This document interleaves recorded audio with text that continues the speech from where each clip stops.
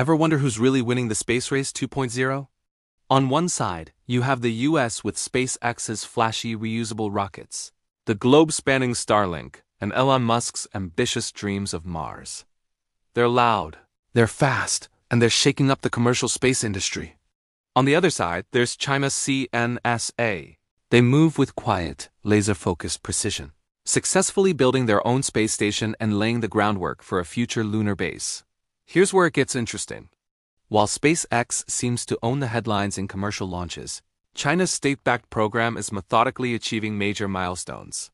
Think of it this way the US is sprinting, while China is running a marathon. In the vast silence of space, it's often the most disciplined player that comes out on top. This rivalry isn't just about planting a flag on the moon again. It's about who will build and control the cosmic highways of our future. Who do you think will define the next chapter for humanity? Let me know in the comments and don't forget to subscribe for more deep dives.